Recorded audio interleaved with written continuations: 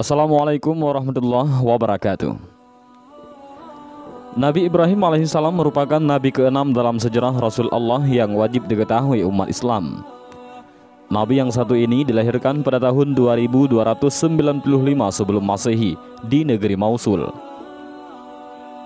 Ajaran dan agamanya walaupun tidak langsung turun-temurun hingga Nabi Muhammad SAW Tapi syariat yang kita jalankan sekarang juga hampir sama dengan yang Allah berikan kepada Nabi Ibrahim alaihissalam.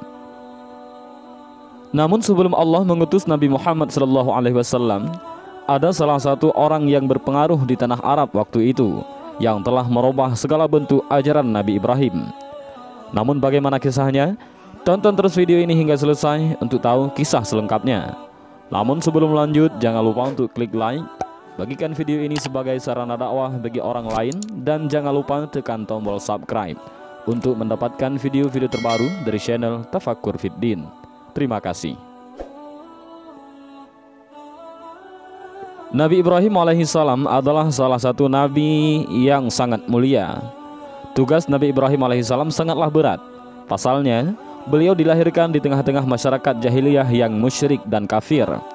Bahkan, Ayah dari Nabi Ibrahim alaihissalam adalah pembuat patung berhala yang juga mempercayai bahwa patung-patung itu adalah perantara manusia kepada sang khalik. Namun dalam salah satu pendapat, yang membuat patung itu bukanlah ayahnya, namun pamannya.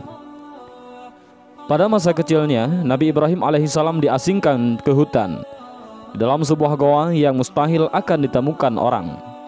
Hal ini dilakukan orang tua Nabi Ibrahim karena di zaman itu Raja Namrud mengeluarkan peraturan untuk membunuh setiap ada bayi laki-laki yang lahir. Raja yang sombong dan musyrik itu tidak ingin digantikan oleh siapa pun di muka bumi ini sebagai penguasa. Sampai akhirnya dirinya kembali ke tengah masyarakat kemudian melihat semua orang seperti gila pada patung. Hampir setiap rumah dan tempat-tempat umum dipenuhi patung berhala agar dapat menyembah setiap waktu. Tak terkecuali di rumah ayahnya yang memang bekerja sebagai pembuat patung berhala. Nabi Ibrahim pun mulai bertanya-tanya pada dirinya, "Di manakah Tuhan itu? Manakah yang dinamakan Tuhan?" Allah Subhanahu wa taala memberikan mukjizat kepada Nabi Ibrahim yakni sebuah pemikiran yang cerdas kritis sekaligus mengutusnya untuk mengajak semua orang bertakwa kepada Allah dan meninggalkan berhala-berhala. Namun pada suatu hari, Raja Namrud pergi melakukan perjalanan jauh bersama sebahagian besar pengikutnya selama beberapa hari. Kemudian Nabi Ibrahim alaihissalam masuk ke wilayah Namrud dan menghancurkan semua berhala yang ada. Semua patung-patung dihancurkan, kecuali satu berhala yang paling besar sekaligus meletakkan kapak yang dipakai di pangkuan berhala tersebut. Setelah Raja Namrud kembali, ia pun murka dan memanggil Nabi Ibrahim karena salah satu pengikutnya sempat mengetahui perbuatan Nabi Ibrahim itu. Sang raja bertanya dengan geram, "Wahai Ibrahim, bukankah engkau yang telah menghancurkan berhala-berhala ini?" "Bukan," jawab Nabi Ibrahim secara singkat. Mendengar jawaban itu, Raja Namrud semakin geram dan berkata, Lantas siapa lagi kalau bukan engkau? Bukankah kau berada yang di sini saat kami pergi? Dan bukankah engkau membenci berhala-berhala ini? Iya, tapi bukan aku yang menghancurkan berhala-berhala itu. Aku pikir berhala besar itulah yang menghancurkannya. Bukankah kampaknya masih berada di lehernya? Sahut Nabi Ibrahim dengan santainya. Raja Namrud segera membantahnya. Mana mungkin patung berhala dapat membuat semacam itu? Mendengar hal itu, lantas dengan tegas Nabi Ibrahim berkata, "Kalau begitu, kenapa engkau menyembah berhala yang tidak dapat berbuat apa-apa?" Mendengar pernyataan Nabi Ibrahim tersebut, perang pengikut Namrud tersadar dan mulai berpikir oleh mereka Tuhan yang selama ini disembah tidak dapat melihat, mendengar, dan bergerak. Hal itu membuat Raja Namrud semakin murka. Ia memerintahkan para tentaranya untuk menghukum Nabi Ibrahim dengan seberat-beratnya yaitu hukuman dibakar hidup-hidup.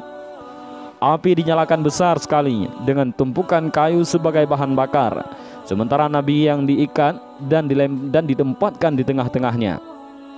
Namun, Allah Subhanahu wa taala lebih berkuasa dalam hal ini. Mereka mengira Nabi Ibrahim telah hancur menjadi abu bersama api. Tapi begitu terkejutnya mereka, Nabi Ibrahim berjalan keluar dari puing-puing pembakaran dengan selamat tanpa luka sedikit pun. Sejak saat itulah pengikut Namrud berpaling dan menjadi umat Nabi Ibrahim alaihissalam dan menuju ke jalan Allah Subhanahu wa taala. Hal ini juga tertulis dalam Al-Qur'an yang artinya, apakah kamu tidak memperhatikan orang yang mendebat Ibrahim tentang Tuhannya? Karena Allah telah memberikan kepada orang itu permintaan, pemerintahan ataupun kekuasaan. Ketika Ibrahim mengatakan, Tuhanku ialah yang menghidupkan dan mematikan. Orang itu berkata, saya dapat menghidupkan dan mematikan. Ibrahim berkata, sesungguhnya Allah menerbitkan matahari dari timur, maka terbitkanlah dia dari barat. Lalu terdiamlah orang kafir itu, dan Allah tidak memberi petunjuk kepada orang-orang yang zalim. Quran Surat Al-Baqarah ayat 258 Dan ajaran ataupun Nabi Ibrahim walau tidak secara langsung tapi turun-temurun sampai Nabi Muhammad wasallam. Bahkan beberapa syariat yang kita lakukan termasuk syariatnya Nabi Ibrahim alaihissalam. Dalam salat pun kita memakai dan berselawat juga kepada Nabi Ibrahim alaihissalam. Namun jauh setelah Nabi Ibrahim wafat, datanglah salah satu pembesar di, di, di tanah Arab. Dia bernama Amr bin Luhai dan dialah yang mengubah ajaran Nabi Ibrahim alaihissalam. Suatu ketika Amr bin Luhai memberi makan dan pakaian kepada orang-orang yang di beberapa musim haji. Terkadang pada satu musim haji ia menyembelih 10.000 onta dan memberi pakaian kepada 10.000 orang. Ia adalah orang yang sangat dermawan. Orang-orang Arab memuji sifat ini. Ia juga seorang pemberani. Orang-orang Arab pun memuji sifat ini. Lantaran inilah ia disukai banyak orang. Mereka senang membuatnya puas dan selalu menuruti apa yang ia perintahkan. Setiap kali ia membuat hal baru untuk orang Arab, pastilah mereka menjadikannya sebagai aturan. Dan suatu hari ia pergi dari Mekah ke Syam untuk suatu keperluan. Sedangkan kaum Amalik ketika itu sedang berada di Syam.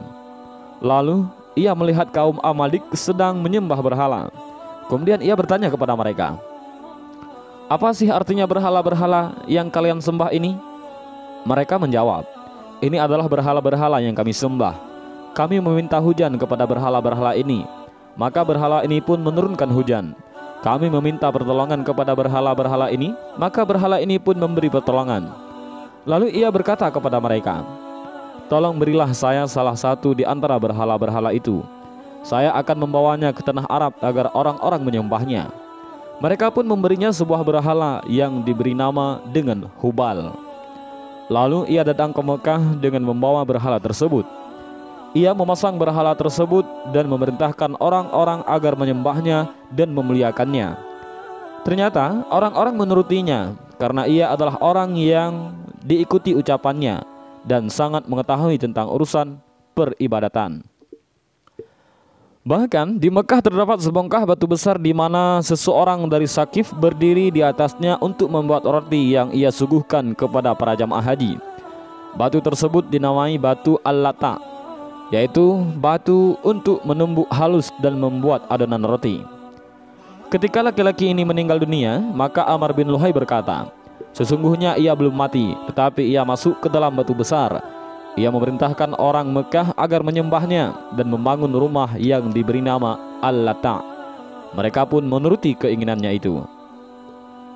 Kemudian Islam datang dan Nabi Shallallahu Alaihi Wasallam pun mengetahui kenyataan ini. Beliau Rasulullah Shallallahu Alaihi Wasallam juga mengetahui bahwa Amr bin Luhai adalah orang yang membawa berhala ataupun hubal dari negeri Syam dan dialah orang yang memerintahkan orang-orang Quraisy hingga mereka membuat rumah Al-Lata. Bahkan beliau mengetahui yang lebih dari itu. Beliau bersabda kepada salah seorang sahabatnya, "Hai Aksam, saya melihat Amar bin Luhai bin Kam'ah menarik ususnya di dalam neraka. Saya tidak melihat seseorang yang lebih mirip dengan orang lain daripada kemiripanmu dengannya dan kemiripannya denganmu." Aksam berkata, Apakah kemiripanku dengannya memberi mubarat kepadaku wahai Rasulullah? Beliau Rasulullah Shallallahu Alaihi Wasallam menjawab, tidak. Sesungguhnya engkau orang mukmin sedangkan dia orang kafir.